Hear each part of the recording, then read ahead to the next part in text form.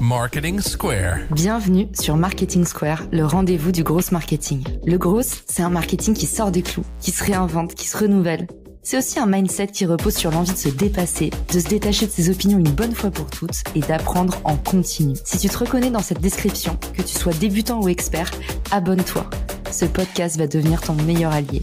Si vous êtes comme moi et que vous cherchez toujours à aller plus loin, alors vous allez adorer. Avec HubSpot, dites adieu aux opportunités manquées. Leur plateforme client unifiée et alimentée par l'IA intègre des logiciels d'engagement client et un CRM vraiment intelligent. Ne me croyez pas sur parole. Découvrez par vous-même comment HubSpot peut accélérer votre croissance en alignant vente, marketing et service client. Rejoignez la révolution HubSpot et rendez-vous sur notre page hubspot.fr slash marketing square pour découvrir ce qu'on vous a concocté.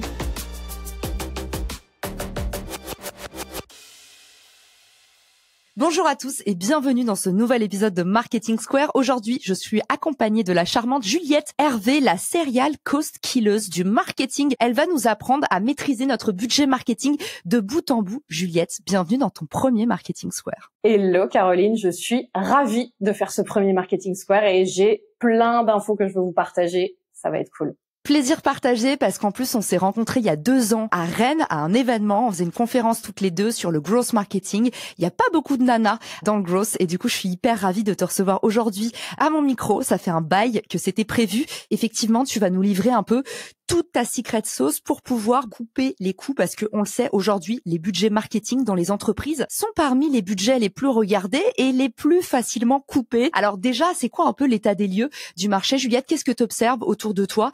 Comme tendance, comme évolution Comment ça se passe euh, à l'intérieur des entreprises? Aujourd'hui, on va pas se mentir, on est dans une période euh, la tension économique des startups, elle est quand même toujours présente. Donc c'est vrai que tu le disais, les budgets marketing, c'est souvent ceux qui sont coupés les premiers parce qu'on a tendance à dire le marketing, ça sert à rien. Mais c'est pourtant pas la meilleure chose à faire. Par contre, c'est vrai que la problématique, c'est qu'il y a beaucoup de startups qui mettent du budget sur euh, le market, mais qui ne l'utilisent pas bien. Sincèrement, entre quand j'étais salarié, les erreurs qu'on a pu faire et quand je vois avec des clients aujourd'hui quand je bosse, sincèrement, 99% des startups ne savent pas optimiser et bien dépenser leur budget market. Et justement, étape numéro un de la méthode que tu vas nous partager aujourd'hui, les trois erreurs les plus courantes, les erreurs de débutants, celles qui vous foutent la honte et potentiellement mettent tous vos efforts par terre. Quelles sont-elles? Les trois trucs que je vois le plus, c'est en fait, il faut avoir ces trois bases-là pour pouvoir ensuite développer un budget qui soit le plus héroïste possible, donc qui ait le plus de retour sur investissement. On a fait une étude de marché quand on a lancé sa boîte, ok, mais c'est quelque chose qu'il faut continuer à faire régulièrement. Comprendre la compétition, comprendre les, les problématiques, les tendances de son marché, de son secteur d'activité, c'est la clé pour prendre des décisions stratégiques et avoir toutes les informations. Pour ça, dans l'étude de marché, il y a aussi l'analyse de l'audience. Moi, ce que j'aime recommander à mes clients, c'est d'analyser trois personas. Et puis ces personas, de les retravailler tous les six mois à au moins une fois par an. En gros, les personas, il y a le buyer persona, celui qui prend la décision d'achat, et il y a aussi le champion persona. Ça, c'est celui qui va recommander potentiellement l'achat de ton outil. Ça peut être l'utilisateur final ou un proche. Et puis, moi, celui que j'aime bien, c'est l'anti-persona.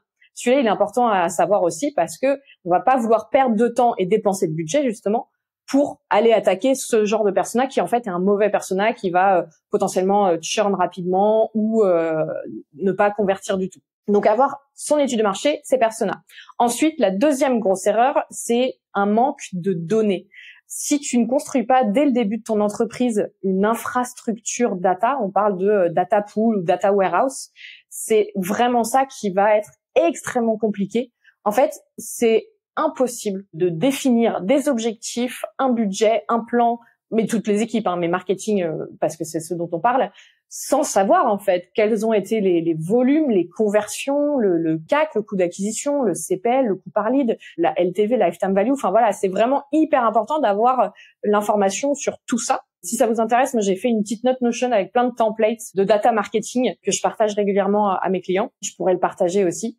Et la dernière erreur, j'en parlais, c'est de bien définir des objectifs. Dans les startups, il y a la North Star métrique. En fait, on va un petit peu avancer en, pyramide inversée, en funnel. On va prendre la North Star métrique pour ensuite chaque équipe, tech, euh, sales, marketing, vont définir trois euh, objectifs marketing annuels, un peu plus généraux, on va dire, et ensuite, sous chaque objectif, redéfinir trois métriques. Donc là, beaucoup plus précis, temps de lead, temps de conversion, euh, temps de pourcentage de satisfaction, etc., etc.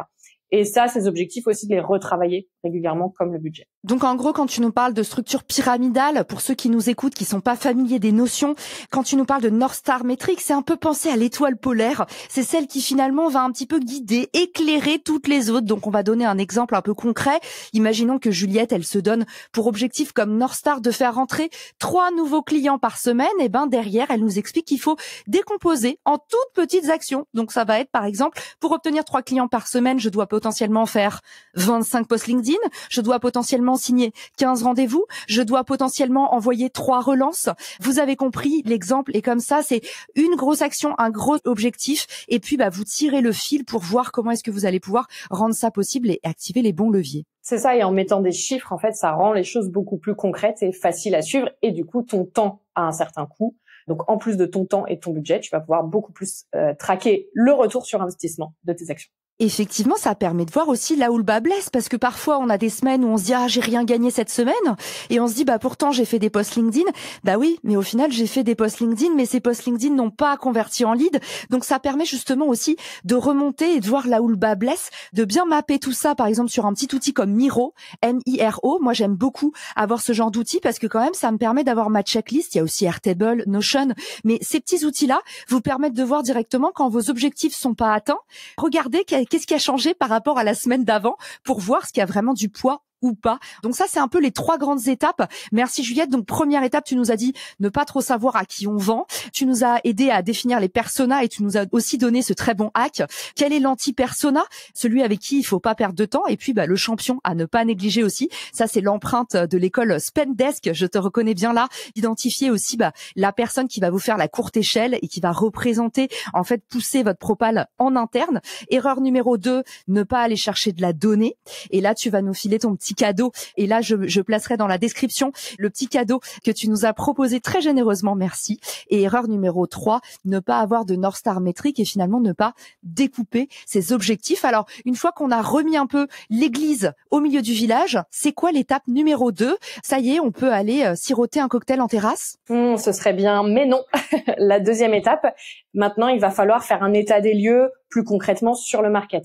La première euh, sous-étape de cette étape-là, c'est d'auditer où j'en suis dans ma stratégie marketing, quelles sont les ressources que j'ai à dispo, quels sont les contenus que j'ai pu déjà créer, euh, quels sont les outils que j'utilise, qui est l'équipe aussi que j'ai avec moi pour euh, m'accompagner, qu'elle soit en interne ou en externe. Donc c'est vraiment identifier où j'en suis, faire un audit, ce qui va permettre aussi potentiellement d'identifier des opportunités d'action marketing qu'on n'a pas encore testées et donc auxquelles il faudra peut-être allouer du budget. Avec ça, ensuite, tu vas prioriser ton plan marketing. La règle que j'aime bien partager, c'est la règle du 60-40 pour prioriser ton plan marketing. C'est 60% du temps et finalement de ton budget aussi vont être alloués à l'optimisation à long terme, un retour sur investissement à long terme et 40% sur du court terme parce qu'il faut des résultats et surtout quand tu bosses avec les sales derrière, les commerciaux, bah, eux, ils ont besoin de résultats et de conversions euh, assez rapides pour atteindre leurs objectifs. Et donc une fois que tu as un petit peu euh, la, la dernière sous-étape, c'est bah finalement de tout aligner entre les datas que tu as pu trouver. Donc euh, ça va être euh, regarder l'année dernière par exemple quel a été le, le chiffre d'affaires que tu as fait, combien il y a eu de conversions, quel était le volume de leads que tu as envoyé, quel était ton coût par lead, de regarder tes ambitions, où est-ce que tu veux aller, de regarder ta trésor, hein, mine de rien, est-ce que tu as fait une levée de fonds, est-ce que tu as les moyens, c'est ça aussi qui va forcément avoir un gros impact sur quel budget tu peux mettre. Et souvent, la moyenne, en fait, on dit qu'il faut allouer à ton budget marketing entre 10 et 15% du revenu le revenu global de l'entreprise que tu veux générer. 10 et 15%, en gros, ce qu'on dit, c'est que entre 5 et 10% de ton revenu, ça va te permettre de maintenir ton activité. Par contre, si tu veux être vraiment dans une expansion et dans de la croissance, il faut allouer entre 15 et 25 du revenu que tu veux générer dans ton marketing. Et donc, tu vas pouvoir jouer un petit peu avec ça, soit à partir de cette base-là, puis ensuite réadapter, soit aussi, tu peux, bah, comme je te disais, regarder, l'année dernière, j'ai fait combien de CA, cette année, je vais faire combien de CA, et puis l'année dernière, j'ai généré combien de leads, qu'on fait combien de clients pour atteindre ce CA, et quel était le coût par lead. Et du coup, assez simplement, si tant de clients fait tant de CA, je veux tant de leads, et donc mon coût par lead est de temps, et donc j'ai mon budget marketing. Et donc tu peux refaire un peu hein, la passerelle entre les deux. J'adore ce conseil. Et pour ceux qui sont pas très chiffres, qu'est-ce que tu utilises comme logiciel, comme stack pour aller justement chercher toute cette data qui peut partir un peu à droite à gauche entre euh, Google Tag Manager, entre Google Data Studio, entre peut-être la régie euh, Meta Ads qui te permet d'aller regarder un peu ce que tu dépenses, ce que tu gagnes. Comment est-ce que tu agrèges cette donnée et peut-être comment tu répartis aussi entre les parties prenantes? Qui regarde la donnée? Est-ce que c'est plusieurs personnes? Comment ça s'organise en interne pour un chef d'entreprise qui voudrait mettre ça en place dans son service bah, Justement, les, pour les routines de suivi, si tu veux, je t'en parlerai dans le dernier point de suivi de de l'optimisation du budget. Et en termes d'outils, c'est vrai qu'aujourd'hui, j'ai pas un chouchou. Je trouve d'ailleurs qu'il n'y a pas d'outil de tracking de data qui soit parfait. Il y a Metabase, qui est plutôt bien. Il y a Looker, qui est pas mal, qu'on avait chez Spendesk. Je trouve qu'il n'y a pas un outil particulièrement que j'aime recommander. Du coup, pareil, appel, euh, si vous êtes un outil de data, euh, échangeons sur LinkedIn pour euh, que vous me présentiez votre solution et, ce serait. Sachant que maintenant avec le GPT Store, vous avez quand même accès à des très très bons assistants qui font pas mal le taf. Alors vous leur glissez un petit fichier XLS et puis il y a des résultats qui sont assez surprenants. En tout cas, moi je suis assez fan de ce qu'on peut trouver dans le GPT Store et mes amis m'appellent Pif Gadget. Je suis un peu fan d'outils, de petits gadgets et c'est vrai que le GPT Store, c'est un peu comme le début de l'App Store, tu sais, quand on avait les iPhones et qu'il y avait toujours une application à découvrir. Moi, j'étais du genre à télécharger toutes les applications de la terre entière et je trouve ça assez intéressant d'avoir le réflexe de regarder dans le GPT Store parce que en attendant qu'il y ait des très bons SaaS, à regarder aussi, on les a pas cités, Product Hunt, évidemment, qui est toujours un peu champion sur les nouvelles releases de produits et puis ça remonte selon les votes des utilisateurs. Donc, c'est souvent un petit peu des pépites à dénicher avant qu'elles nous arrivent. Je voulais revenir sur euh, ce conseil que tu donnes de si vraiment on veut grossir, être entre 15 et 25% euh, d'allocation de budget dans son marketing par rapport aux revenus euh, générés. C'est assez rigolo parce que pour ceux qui s'intéressent euh, un peu aux, aux, lois patrimoniales, tout ça, à tout ce qui est épargne, finance, j'ai lu il y a pas longtemps un livre qui s'appelle L'homme le plus riche de Babylone. C'est un peu le bouquin numéro un sur l'épargne personnelle et c'est assez rigolo parce que ça se passe dans l'Antiquité et on se rend compte qu'en fait les lois de la richesse et de l'épargne sont juste complètement intemporelles et le bouquin est assez rafraîchissant, facile à lire et la grande leçon du bouquin c'est investissez 10% sur vous de tous vos revenus. C'est un truc que j'ai décliné assez instinctivement depuis que je me suis lancée en tant qu'entrepreneur. Moi déjà, j'ai toujours été plutôt épargnante. J'ai un papa très prévoyant donc il m'avait vraiment élevé comme ça. Donc je mettais 10% de mon salaire de côté, aucun problème.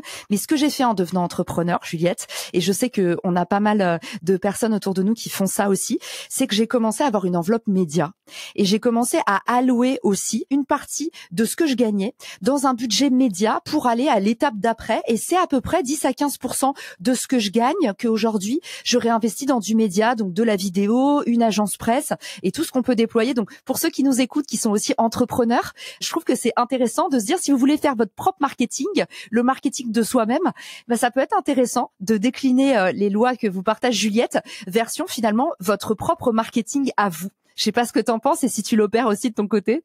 Ah, je suis totalement euh, totalement d'accord avec toi et puis on voit que ce budget que tu as alloué dans ton ta visibilité, ça paye euh, fois mille. Rien que ta vente de bouquins récemment n'aurait pas été telle si tu n'avais pas passé autant de temps aussi à, investir en.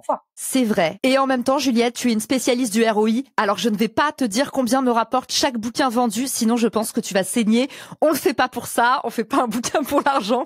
Euh, ça, c'est sûr. Mais en tout cas, deuxième partie, tu nous partageais du coup l'état des lieux avec ta petite règle du 60-40 pour prioriser. Et puis, euh, du coup, ces petits outils qu'on pourra aller retrouver dans les ressources de l'épisode pour aller regarder son CA, ses conversions. Et euh, n'oubliez pas, retenez 15% à 25% de votre budget alloué au marketing marketing si vous voulez vraiment grimper très très vite.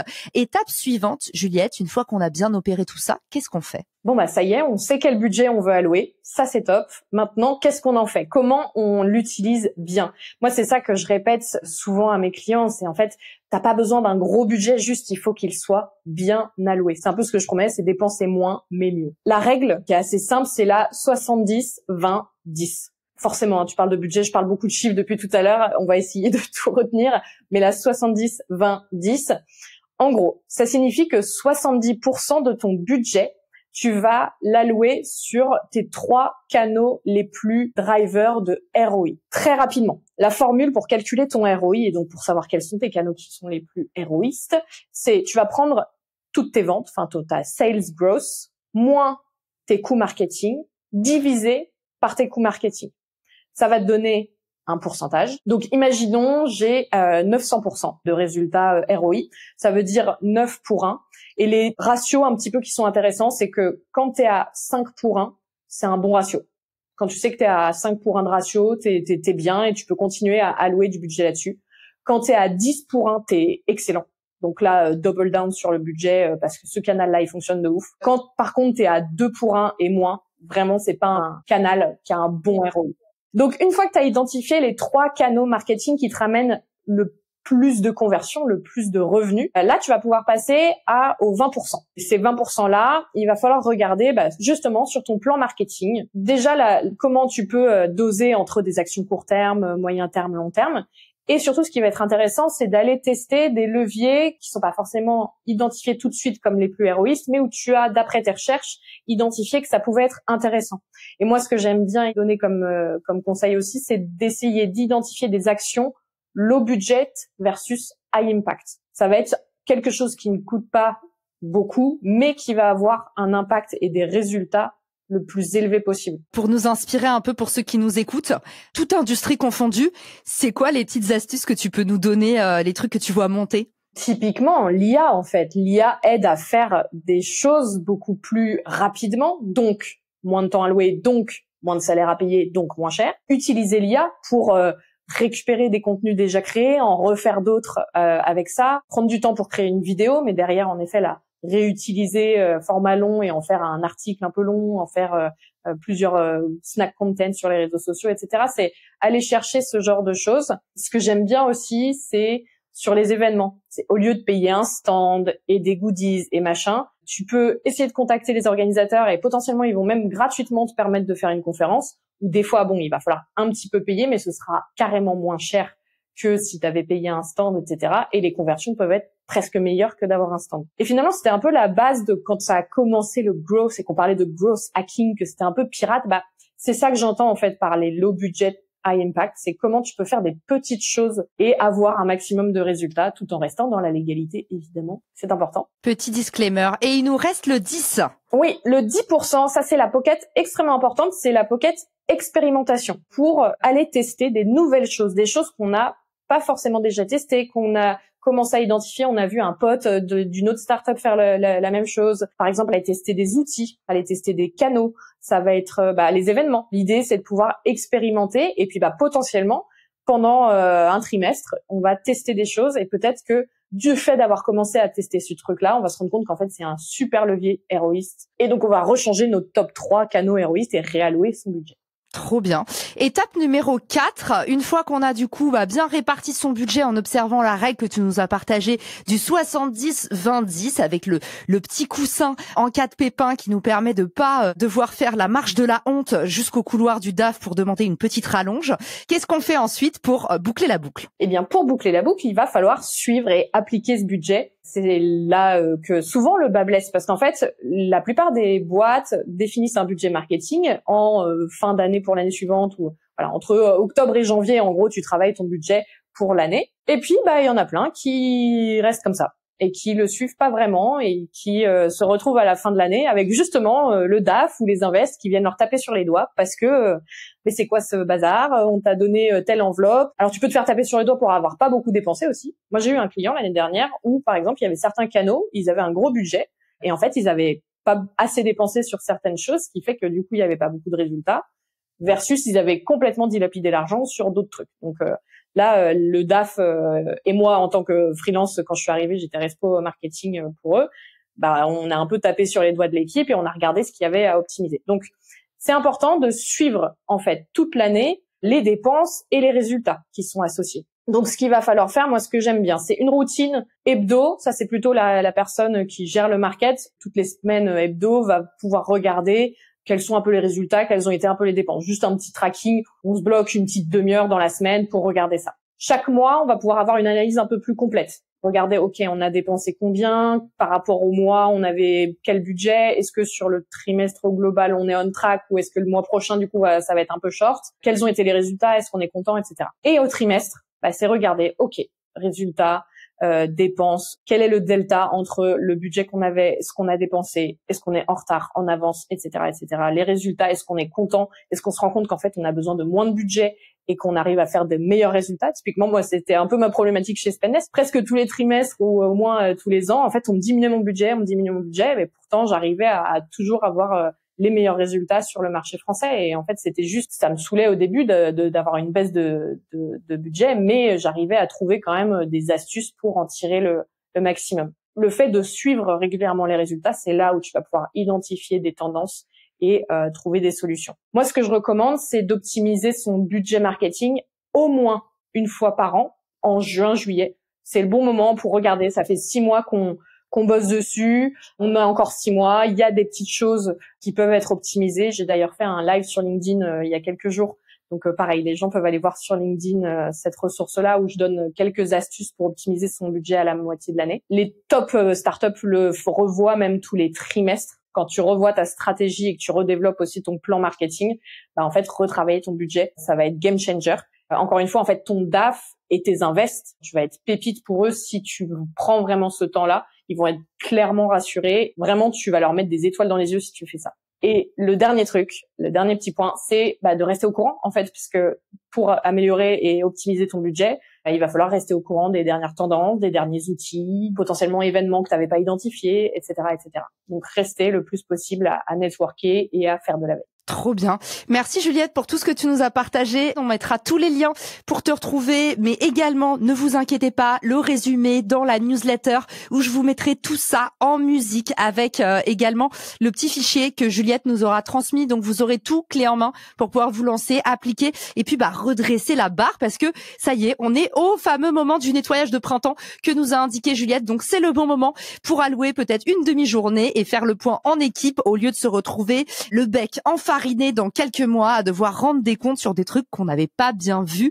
Merci Juliette. Où est-ce qu'on va pouvoir te retrouver, t'envoyer des lettres d'amour ou se renseigner sur euh, ton offre de service puisque tu travailles en freelance pour justement aider les entreprises à maîtriser leurs coûts? Tout à fait. Eh bien écoute, euh, le plus simple, c'est LinkedIn. Il y a toutes les ressources dont je vous ai parlé. Vous verrez aussi mon deck où je propose euh, les différents euh, accompagnements, que ce soit sur le budget, et je fais du mentoring marketing aussi. Et puis vous trouverez, si ça vous intéresse, c'est un autre petit cadeau surprise. J'offre également un mini audit de budget de 20 minutes. Donc n'hésitez pas à prendre rendez-vous. On prendra euh, ces 20 minutes pour analyser et je vous donnerai quelques quick fix sur votre budget. Génial. Merci beaucoup Juliette et à très vite dans Marketing Square. Ciao Si cet épisode te plaît, tu peux le partager en me taguant ou lui laisser 5 étoiles sur Apple Podcast. Marketing Square.